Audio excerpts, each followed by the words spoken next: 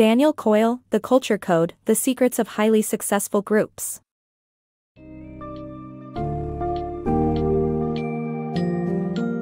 Welcome to the fascinating world of group culture, where the dynamics of interaction hold the key to success.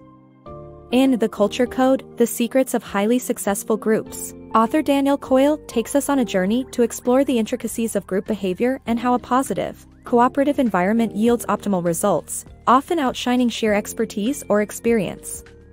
Stretching from examining safety and vulnerability in groups to the importance of shared purpose, this book summary delves deep into the factors that contribute to effective and successful team dynamics. Prepare to enrich your understanding of group culture and unlock the secrets to creating thriving, high-achieving groups.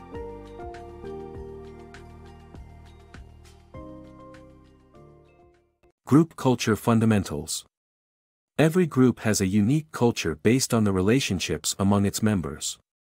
Dysfunctional group cultures stem from a focus on individual status rather than quality interaction.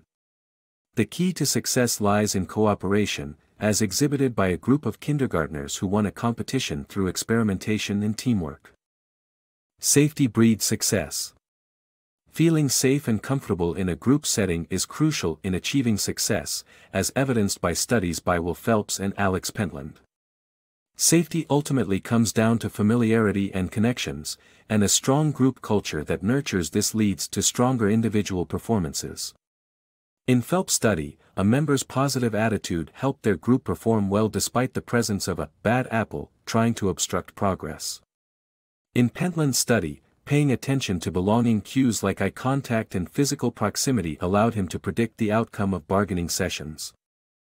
Creating a safe environment. Building a safe environment requires active listening, letting people see your weaknesses, and avoiding interruptions. By interjecting with linguistic markers and nonverbal cues, you can foster a sense of belonging and safety. Admitting your own imperfections and asking for input can also put others at ease. The power of vulnerability.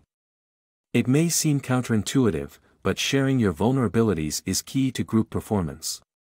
Admitting weaknesses and mistakes creates a feedback loop that generates trust and closeness among group members. Various studies have confirmed this connection between vulnerability and cooperation. For example, in a simulated plane crash, crew members were able to work together to save almost 200 lives because the pilot admitted his vulnerability and allowed others to ask for help. In a study conducted by David DeSteno, participants who experienced a moment of vulnerability were more willing to cooperate with others. So, the next time you interact with others, remember that being vulnerable can actually make you a better team player.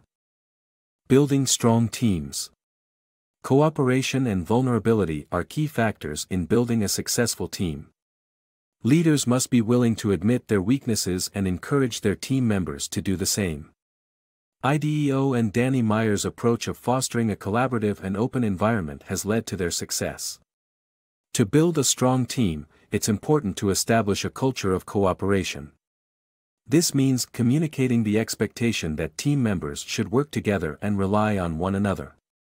Leaders must also lead by example and be willing to show their vulnerabilities.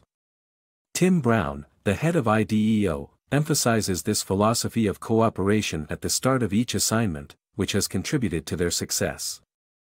Leaders play a crucial role in creating a safe environment for team members to be open and vulnerable.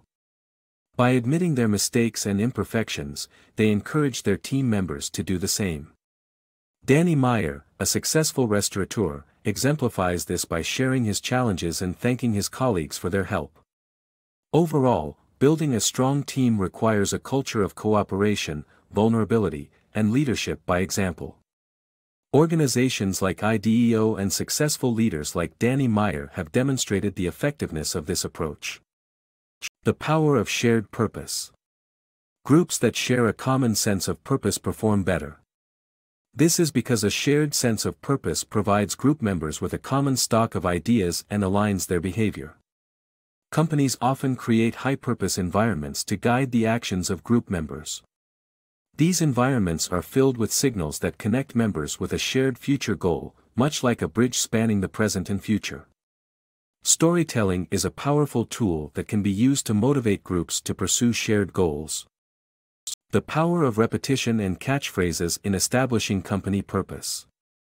Establishing a clear purpose for a company is not an overnight process and requires repetition, open communication, and catchy phrases. Repetition is essential to ensure a shared sense of purpose and clarity among team members companies should not assume that their priorities have been communicated clearly without repetition. Regular meetings should be held to encourage open discussion and reflection on the company's goals. Johnson & Johnson effectively uses this approach. Catchphrases are also useful for boosting awareness of a company's core values.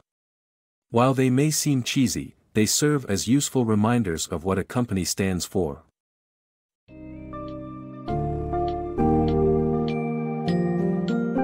In conclusion, the Culture Code offers insightful observations and practical advice on fostering a thriving group culture. The key lessons include recognizing the importance of safety and belonging cues in groups, admitting and sharing vulnerability to build trust and cooperation, and fostering a shared sense of purpose to ensure goal alignment and team motivation. Through understanding these vital group elements and implementing the strategies outlined in this book, you can transform any group, regardless of its size or context, into a successful, high-performance team. So, embrace the knowledge shared within these pages and unlock the true potential of your group interactions.